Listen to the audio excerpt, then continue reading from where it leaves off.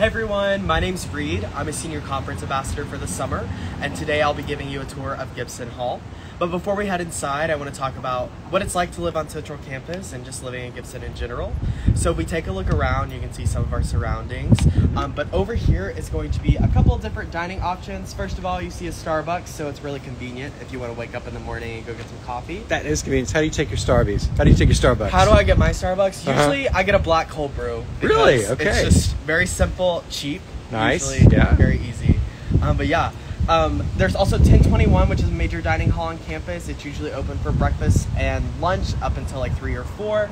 And then you also have what we call Founders, which is going to be in Founders Hall. Mm-hmm. But you can go there for dinner and get sushi, um, where the Walgreens are. It's pretty great.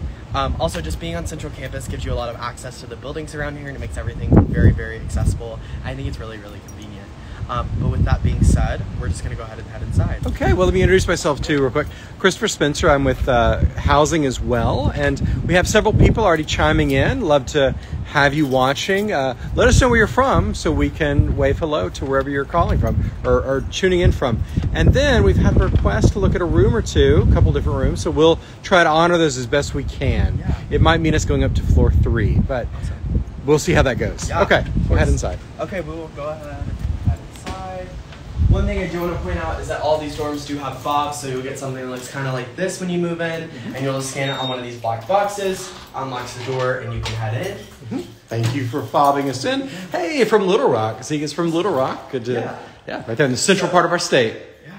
Um, so as we move in here, you can see that there's kind of a common area space before you get to the front mm-hmm. desk. There's chairs to come and sit, some nice paintings on the wall. As you can tell, Gibson is one of the older buildings. Um, just to give you a little fun fact, this is originally known as Razorback Hall, which I think is very cool. If you look at the top of Gibson, you can actually see like a golden hot like Razorback on the top, Yeah. and I think it's very cool. Um, but Gibson Hall is one of the oldest and finest residence halls with rich history and tradition. Gibson is the second oldest residence hall outside of Carnall Hall, which now functions as a hotel. You may get a chance to go to it. Right, they got a Um, nice little restaurant in there yeah. too. Um, but as we head up here, we'll take a look at the front desk. Mm-hmm. Um, your front desk is going to be crucial for any major questions that you have while you're here. It's usually staffed by an adult desk admin. Mm-hmm. Um, they will sit behind this desk. If it's not staffed by them, it's either staffed by an RA or it's closed. Um, I'm not completely sure on packages. Um, usually, your desk admin will have your packages. There's a chance that you, if you live in Gibson, you'll have to pick them up at Gregson. You can definitely check that on your housing portal. Though. Mm-hmm. Yeah, you can Also- go to um, under the housing website, look under services, and then mail and packages is the page you want to hit. It Tells you exactly where to get that stuff. Yeah. So we're just gonna move over here and kind of look at the laundry area and take a look at the mailboxes and what you'll be getting into. Yeah. But as we walk over here, I also want to say that Gibson Hall usually houses a, about 98 female residents, which I think is pretty cool. But here are our mailboxes. So in your housing portal, you're going to get a three-digit code. So you'll be able to use this and use your three digits and get it in there. If you have any trouble, scan this. It'll show you a video and other information on how to do that. Yeah. Um, and uh, when it comes to mail, I'll say also that uh, My Details is the area in the Yes. portal where you'll find a lot of that information. My Yeah. Details. Um, before we go right into the laundry room, I just want to say that there are several different um, water fountains on each floor, and I think that they're really awesome. You can come and fill up your water bottle and do all that stuff, and I think it's very neat. And also just very convenient if you're headed out, especially in August when you move here and it's very, very hot. yes. Um, but now let's move into the laundry room. Uh huh. So as we come in here, there are three washers and four dryers. There's also an ice machine and a couple of vending machines as well. Um, the biggest thing that we want to talk about with laundry is the Speed Queen app. So as you move here this summer, you're going to need to download the Speed Queen app, which will allow you to get two washes per week. After those two washes run out, I think it's $1.50 to get another wash that week. Yeah, two washes, two dries per week. It's all preloaded, so really you can spend it at your own discretion. So you could do, you know, 10 in one week if you wanted, but know that then later in the semester you won't have access to that. Yes. So, but you can, as, as Reed points out, you can refresh that at about $1.50 a cycle. So Yeah. if you want to run a washer and a dryer, then that would be $3 that you can add through the app. And what's really convenient about the app is it'll tell you when your uh, laundry is done washing or drying, and it'll let you know when some uh, one of the washers or dryers is also free, so you don't have to waste your time coming down here and um, walking back up the stairs because Gibson does not have an elevator. It does not on its three floors. Do you mind pointing out uh, the wireless pay that we have there? Yeah, so definitely, uh, whenever uh, these vending machines, you can just kind of put your card up there, Mm-hmm. scan it, and then you'll be able to kind of select something. If I were going to select something, it would be a Diet Coke, um, which is pretty nice. Um, ice is free, everything. And Yeah. that's pretty much all the things I can And we do take Razor uh, Razor Bucks Yes. now, so you can get Razor Bucks and you can use that. Awesome. All right. Well, I guess we'll head up on the floor. Yeah. Um, we've already identified a floor, uh, some rooms on the second floor, so that's where we're going today. Yeah. But so many of the rooms look very, very much alike in this hall. But if it's on the second floor, I can probably open it up for you. We do have a room that we're already looking at, but we could try others. So now, where are you from, Reed? I'm actually from Mount Pleasant, Texas. Uh-huh. Um, my dad's a football coach, so I actually moved eight times before I graduated. So I like to say that I'm Eight just- times. Yeah, I'm just from East Texas usually. Okay, okay. Um, so that's usually where I, where I was located. Sure. Um, moving up here, there are a couple other common spaces in the store. One of the larger ones is in here. So when you walk in here, you have access to a public fridge, um, an oven, a stove, a sink, all of these different amenities, which I think is very awesome. Mm-hmm. Um, couches to come sit. Also, if you want to watch a movie, you can use that TV whenever you want. I think it's a great common space to just come and hang out, especially if you don't want to study in your room and you're tired of going to the library and there's nowhere else to go. I think it's a really cool space. Yeah. And I can say I've been working for housing for eight years, and anytime I talk to uh, someone who stayed in Gibson, I mean, they've all loved it. Unanimously across the board have loved it. So it's a great hall. It's kind of a small hall, but it's Yeah. a great hall. No, it's great. It may be small too, but the rooms are usually a lot bigger than you would probably perceive based on how many people get to stay in this hall. Sure. Um, but before we kind of see how large a room is, we'll go down and look at the restrooms. yes. Um, so the Restrooms are important. Typically have, um, it's usually three sinks, three uh, toilets, and also three showers. I think this one's a little smaller. Mm-hmm. Yeah. Um, but There's restrooms on both sides as well. Yes. Um, and the good thing about these restrooms is, although they're in public, they're very private. Mhm. You're able to do what you need to do whenever you're in there, um, and it's not a bad time. Uh, but yeah, Mm-hmm. come in here. It's got all these tile And floors. let's see, uh, you've been in some of the traditional halls before. Have you ever lived in a traditional hall? Um, I have actually never lived in a hall that has public bathrooms. Okay, so okay. I was lucky to, to, Well, not, to not have to do that. What. I'm but- told is that you you develop bathroom friends because you end up Yes. going to the bathroom at the same Yes, time, no, I like getting ready for class. Plenty of friends that like use like lived in like cots or something with a public uh, restroom, and it was never a problem. And also, they did develop bathroom friends, which I think very interesting. um, but as you walk in, the first thing that we see is the toilet. So Mhm. of course, there's three stalls. Yep. You know, just a regular looking bathroom. You've seen one, you've seen them all. Yeah, and it's also pretty cool because now, it, since you don't live in a space where you have your own restroom, they're clean for you, Yeah, um, which is really true. nice. Um, but another thing is you have two sinks here, so when you brush your teeth, wash your hands, anything like that, they're right here for you. Mm-hmm. And then the next thing are these showers. So what I really like about these showers is that, of course, it has the curtain, but there's a little space when you walk inside. Yeah. Um, so These when you get here. out, yeah, when you get out, you can hang up your towel and change and then leave. And I think that's really, really convenient. Um, I do recommend bringing a shower caddy, shower shoes, just having regular bathroom etiquette when it comes to public restrooms. Mhm. But yeah, and then also you have your full size mirror right here. Right. Your mirrors up here. All that Very stuff. good, very good. But yeah. Very, very nice. I like the tile in here too. I think it's Yeah, I actually think it's it's come around in terms of uh, color, Yeah. colorways. Um, so now I think we're heading to room 210. Mhm. So we'll take a look at what that room looks like. There was a question that came in about from Arden about is there a bench inside the shower area? I don't think I saw one, but I'm gonna go check just I to make sure. So let's go look real We can verify. Yeah. There's a uh, yeah, as you pointed, there's kind of like a uh, an opening room. Yeah. I don't Yeah. see one in this one. I don't see one here either. So there's not in the little dressing room area. There is not a bench. So yeah. maybe if you need one, maybe bring one. Yeah, and that's But there is a hook. There are two hooks actually. And that's one of the things I also kind of want to talk about. With it being an older dorm, there is a lack of accessibility at certain points, and I think just be wary of that when you're moving in. So Mm-hmm. you may need to get certain things to make these spaces more accessible, and that is completely fine. Um, housing staff does all that they can to make this, these spaces as accessible as possible. And if you ever have an issue, you can definitely reach out to housing. This Um, this building's been in service since 1937. Yeah, Um, so it's got the 30s style to it.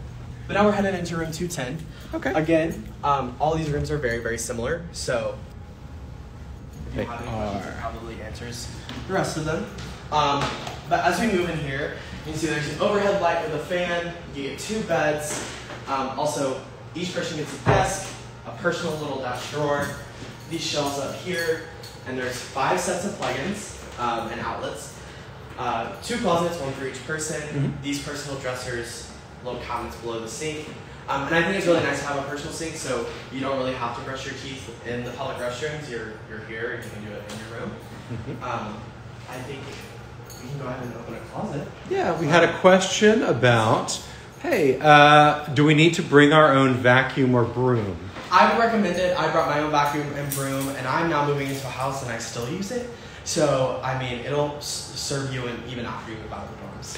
That said, usually at the front desk, we can help you out with some of that stuff, but you probably want your own broom. Yeah, so you don't have to see if it's checked out or Mhm, anything. Um, as we look in these closets, I'm gonna go ahead and close this door just to look behind it. There's not really much going on behind here, Mhm. um, but on these doors you get like a little towel rack on here. Open it up. I honestly think these closets are really nice. They're very wide Mhm. um, and kind of deep, so you can put things, hang things up, but also put things on the shelf, um, which I think is very nice. Yes. And these hardwood floors. I'm talking about these hardwood. Yeah, no, these hardwood floors um, were redone in 2015, um, which kind of gives it um, a modern look while also still being classic, which I think is very nice about Gibson. And I also think that's what is nice about the University of Arkansas this value of tradition, especially staying in a dorm like this. Um, kind of gives you more of a homey feel, and you feel like you're experiencing something your parents may have experienced if they're alumni from here, Right. which I think is really awesome. We had a request to view 209, and which room are we in right now? We're in 210. We're in 210. Yeah. I think let's let's at least go open up 209. Yeah. That's fine. Do you mind if I give you the key and we'll go? Yeah. I think it may be this one or that one. But let's go open it up. Now you're going to see the mattresses are up and there'll be the chair up, but that's just because that's how we leave it in its normal state before y'all arrive. Is 209 right here? Jenny, we'll open this up on we'll open up your room for you. 209. Hey, good job. Oh, this one is a little different. Is this a single? room. Okay, Yeah. this is a single. That's one of the reasons. So a single room. Let me pull down this uh, Yeah. right here. The cool thing about the single room is that let me get this real quick. So because this is a smaller residence hall, we have a little time to like, you know, really show it off to you. No, for sure. A cool thing about these single rooms is it basically got all the amenities of a double room. So you Mhm. still have your two closets or two closets, this whole dresser set. You get one desk this time instead of two. Um, Right, right. Yeah. Um, still those overhead shelves. You have a lot of wall space to hang things up as well. Um, one thing that we didn't touch on whenever we were in the other room is the fact that there are like lights over the sink that you can turn on off. Um, Okay. This mirror and also this overhead space. Yeah. So you can definitely store things up there. Um, we get a lot of questions about chairs, so like the desk chairs. Mhm. Um, a lot of these desk chairs you can actually take apart if you do want to bring your own. You cannot move them out of the room. Yes. But a good idea is if you do want your own chair, you can stick the other desk chair up in those spaces and just store them away until you're getting ready to move out and then put them back together and put them at the desk. Very Great. easy to take apart. Well, I'm so glad we could show off this room for you. But let's head on over back to 210 and we'll do some measurements over there. So this is a single. All right. And we've got a couple questions about measurements. Can you, uh, Arden asked, can you measure the amount of space under the mattress if you put it as high as it will go without lofting? Um, I would say, see these pins? They go every, or little fastens, they go every three inches. I don't offhand know how high this goes right here, but he can measure right there. Now, you can loft this much higher. It's just you need our help to do it because there's a piece that's missing. Yeah, so this is 36 inches. Okay, 36 inches is really at the top of, and that's that's down at the little pin area Yes. right there. Okay, so 36 inches uh, uh, without lofting it. Again, if you want to loft it, you do have to contact us in this particular hall. Yeah. Um, and the best way to contact us is to uh, uh, Google UARK, U A R K, and then type in fix it, F I X I T, and that'll lead to a form. If you do it by the end of this month, before August 1st, we can have it done for you before you arrive. Yeah, which I think is very awesome. I know in the other rooms I've had, you're able to lock your bed yourself. I think maybe that may be whatever, but um, it's a lot easier if it's already lifted by the time you get here. Yeah. Um, yeah, no, no problem. Glad you're able to measure for the bed skirt. Um, and then under the mattress to the floor, could we get that as well? And that's at its current setting.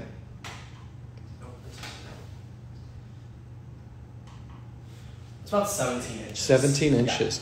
And I do want to make one note about measurements here is you can go to the housing website under uh, Gibson Hall. About halfway down the page, you'll find an explore section. And in there, you'll find a 3D visual- visualization of the rooms. We recorded them with a special camera. And in the bottom left, you'll see like a tape measure. You can measure the spaces between things. Like the camera we used measures the light, so you can measure that. Very Um. Yeah. Uh, there's a question about uh, opening 207. Let's leave it at 209 for now. We've really seen both the styles. Yeah. Gavin, uh, right now we are in Gibson Gibson Hall. That's where we're touring from. If you're just tuning in, uh, and let's see, how many inches do we have for a tension rod? And there was a question earlier about tension rods. Let me find that Yeah. question real quick onto where it would go. Let's see. I'm assuming for a curtain. Yeah, it was definitely for a curtain. Yeah. Uh, can we use a tension rod for curtains in the window? and Um, I man. think here it will be difficult. Yeah. There's not a very wide space to put anything up there. What I'm seeing here is that people are using command hooks to hang stuff yeah, up. yeah, So that's probably your best option.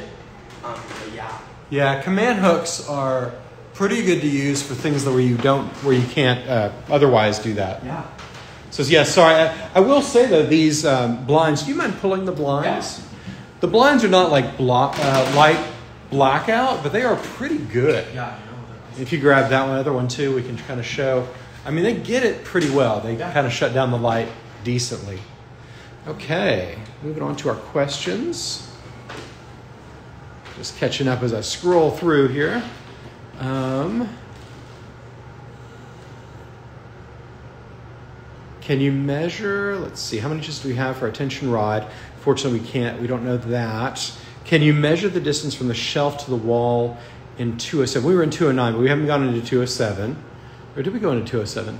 Uh, I, we went, We went into 209. 209. Uh, could you measure the distance from the shelf to the wall? The shelf to Um, the Are you talking wall. about this shelf? Probably so. We'll try that one. So I'm assuming Yeah. that's nine inches. Nine inches depth right there. Nine inches depth. Mhm. Um, we'll just go ahead and do that. That's gonna be about 13 inches. 13 inches high. You want to go ahead and give them the width too? Yeah. Um, To be from, yeah, right there. yeah. Just of this space right here. Mhm, Just in that one. Yeah. This little space is 12 inches. 12 inches, okay. And then, of course, this space is wider. Okay. Very good. We'll keep going. Uh, can you share the show the area under the sink? And it does have a sink, which is pretty cool. We only have like one other hall that has an area under the sink. You can open both of them. Yeah, very good. I don't think those are actually, and they're not ta- tap outs either, to- where they come out halfway. No. But there's there's plenty of space to utilize down there. Okay. No problem, Arden. Um, so if you put the mattress as high as you can without being bunk size, you can go pretty high with it. I would say we're reconnecting. Yeah.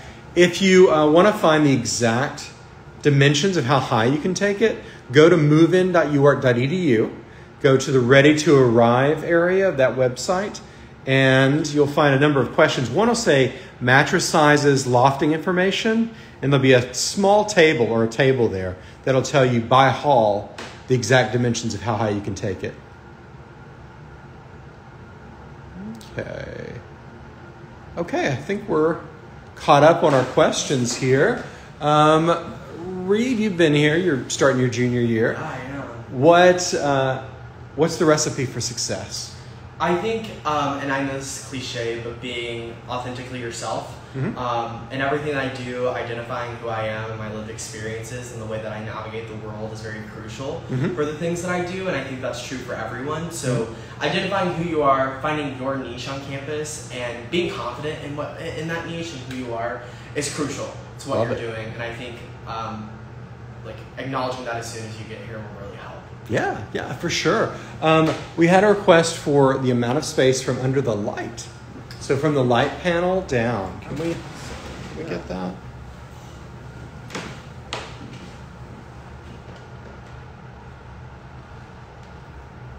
Fifty inches. 50 inches from the light panel down. Okay. Well, we're going to hang out for another second or two and take any more questions you might have. Sorry we didn't get to see every room, but we got to see a single and we got to see a, a, a general kind of room. This is, I mean, almost all of them look like this. Yeah. Okay, one other question since we opened up 209. How many feet from the door frame to the wall? Uh, let's go ahead and go to 209 and we'll do that real quick.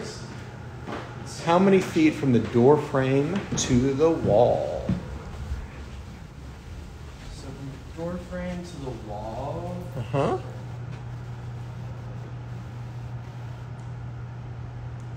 Very good. You found the, the red dot right there.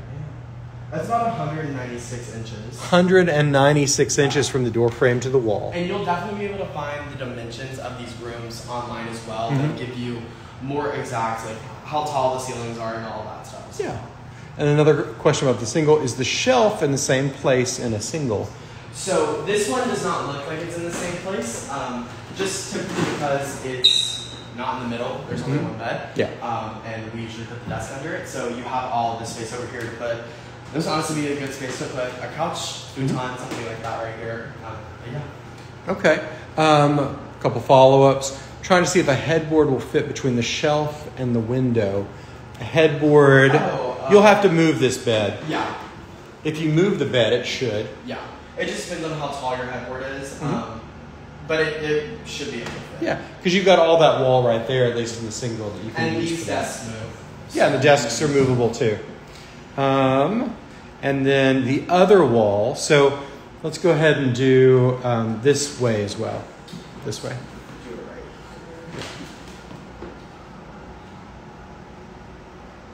It's about 136 inches. Mm-hmm. 136 inches. Okay.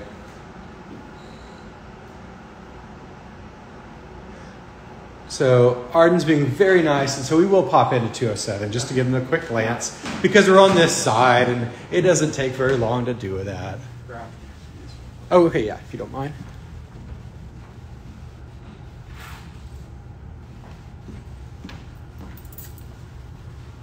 All right, we will look at 207 for you. Again, keep in mind that the, the mattress will be up because that's the default position we keep it in. It's not being used for conferences or anything else. It Okay. is an exact replica of the room across the hall. It basically. is. But we'll give a give a view. This is 207. Yeah.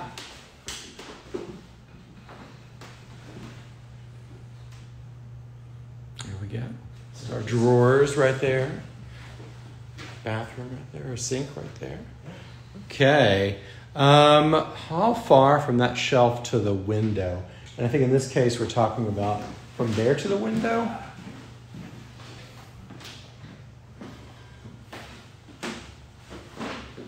I'm gonna say it's about 29 inches to the wall. 29 inches to the wall, and it's basically flush, maybe an inch or two difference with the window.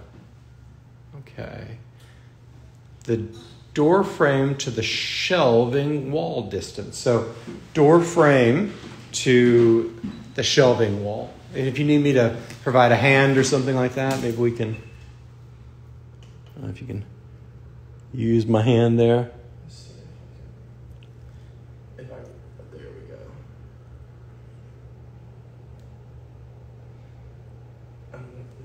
Oh, it's okay. if it. If not, we'll, we'll just do the best we can on it. Oh, you got my hand. Yeah, it's gonna be about 60 inches. About 60 inches. That's the best. All right. Yeah, yeah. Um, good. I'm glad we were able to help you there, Arden. Um, that's caught up then. All right. Well, great questions, everybody. Thank you for tuning in. And I'll just say again that this is, you know, people really love this hall. It's a small but mighty group of, of uh, young ladies who live here. And um, you're right in the center of campus, which is really fantastic. So. Yes, yes. So, anyway, I hope you're excited about coming to Gibson Hall this August. And uh, uh, you want to wave us out? Yeah, I can't wait to see y'all this fall. Um, yeah, have a great rest of your day. Thank you.